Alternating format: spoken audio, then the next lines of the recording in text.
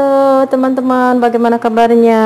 Assalamualaikum warahmatullahi wabarakatuh. Jumpa kembali dengan saya.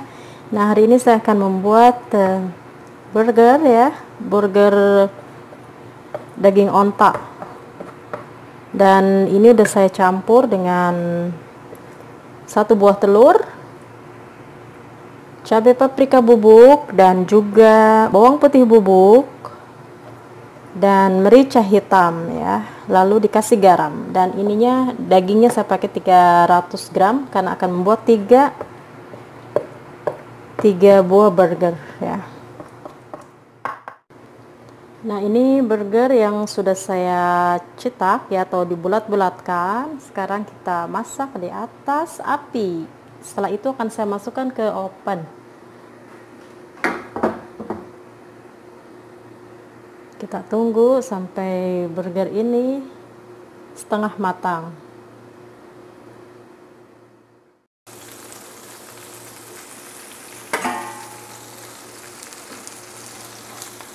Kita balik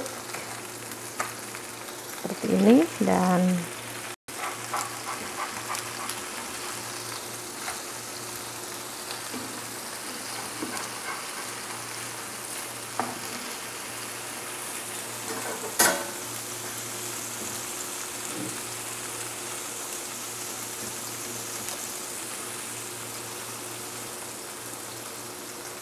Nah, udah seperti ini, lalu akan saya masukkan ke oven biar dia lebih matang lagi.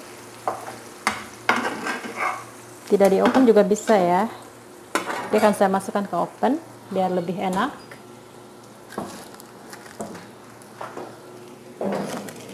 Biarkan dia matang di oven bagian atasnya saja. Nah, seperti biasa ya teman-teman, untuk membuat burger yang enak itu rotinya digarang dulu sebentar ya. Dan akan menghasilkan burger yang enak. Nah, sekarang kita menata burgernya ya. Di sini sudah ada sayuran seperti biasa buat burger. Saya juga punya kecap. Dan ada keju ya, slice. Dan di sini akan saya tata sekarang. Seperti apakah? Ini kegosongan ya tidak saya bolak balik.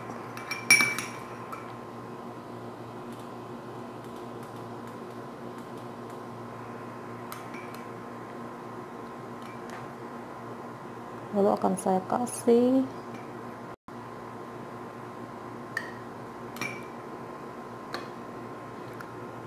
dan ini sayurnya.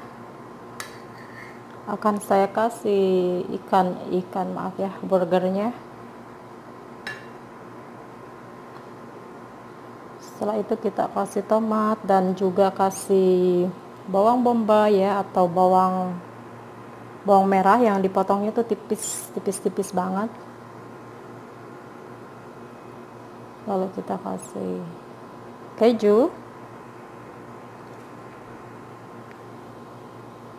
ini udah cukup dan atasnya burger setelah itu kita bungkus ya dengan aluminium foil atau dengan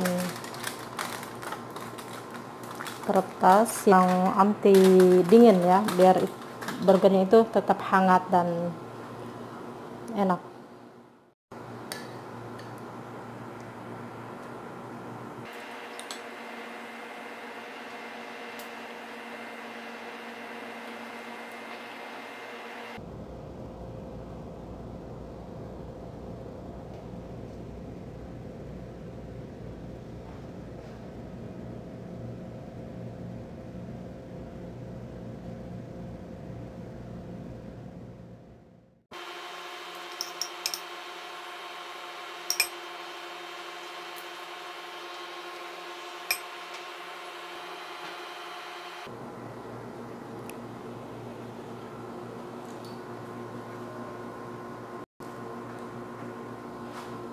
Nah, burgernya sudah selesai. Dan mudah sekali kan bikin burger di rumah. Selamat mencoba dan semoga Anda suka. Sampai jumpa lagi di lain kesempatan. Wassalamualaikum warahmatullahi wabarakatuh.